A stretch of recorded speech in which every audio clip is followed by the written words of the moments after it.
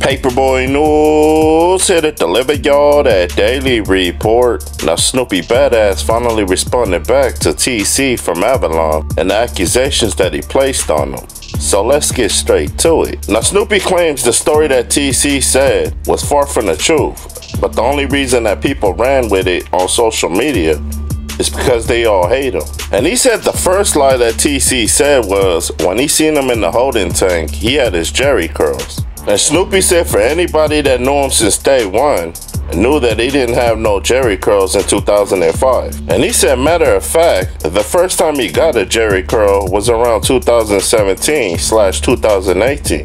Then Snoopy says the second lie that TC said was when he seen him in the holding tank, he slapped him. And Snoopy said that's impossible because if TC claims that he snitched on him, they wouldn't put them both in the same holding tank. Then he says if I snitched on you and you slapped me, then how come they didn't present that in court? And how come it isn't written in their transcripts?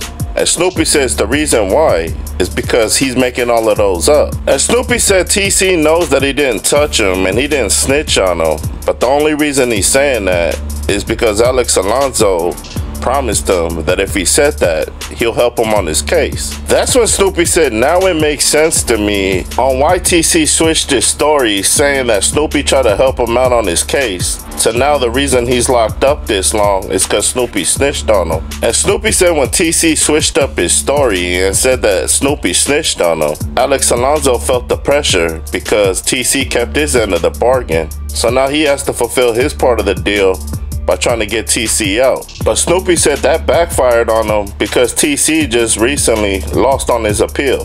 And he said nobody's to blame in this situation but TC because he felt so guilty about taking Snoopy's best friend's life that he admitted to it. And Snoopy said instead of making things worse for TC, he helped him out by saying, he didn't shoot at me, even though he did. And he said Alex Alonso and them just selected politicking because according to Snoopy, before that case, TC was PC'd up because he got charged with child endangerment. And he said since Street TV and everybody else is talking about him in his case, how come they're not speaking on that? And Snoopy told TC, there comes a time in a man's life where he takes accountability and he said, since you've been locked up for these many years, you haven't learned anything. And Snoopy said when he ran into him in LA County, he was holding a Bible talking about he changed his life and he gave his life to the Lord. So where's all this tough gangster talk coming from?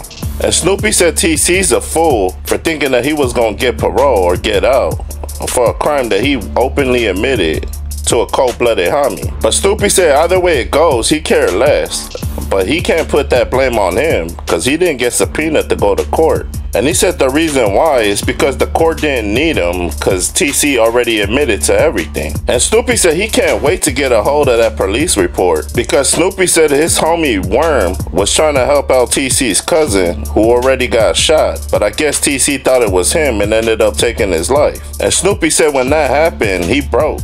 And when the police asked him what happened, he said all he heard was shots and he broke. And when they asked him for the description of the shooter, Snoopy claims that he gave a bogus description.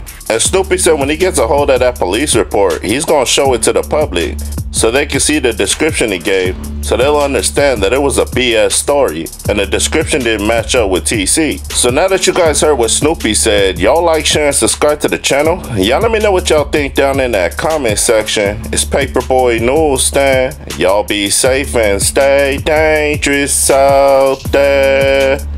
Count.